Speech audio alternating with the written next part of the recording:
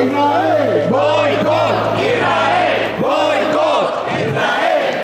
Oxfam Waterward Crimesen ustaiaren amazortziko txostenaren arabera, Israel naita ari da gazara ura iristea ostopatzen eta zerrendako instalazioak zuzitzen.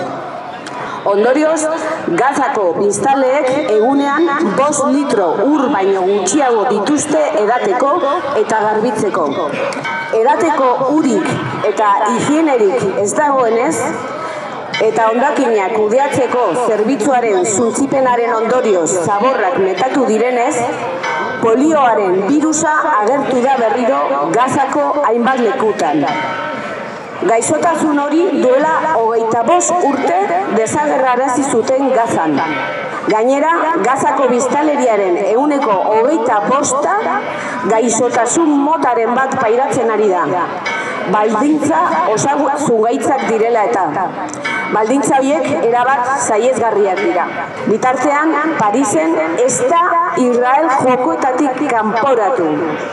Bere garaian, Errusiarrekin edo apartheidaren Egoafrikarekin egin zen bezala. Aitzitik, amairu pertsona pobre kanporatu dituzte iritik.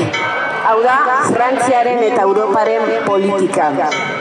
Israel Joko olimpikoetatik kanpo ez usteak erakunde zionistaren apartheid eta genozidio makineria balieskotzea dakar. BDZ Nafarrotik irrealekiko harremanei amaiera matea ezigitzen jarraitzen dugu.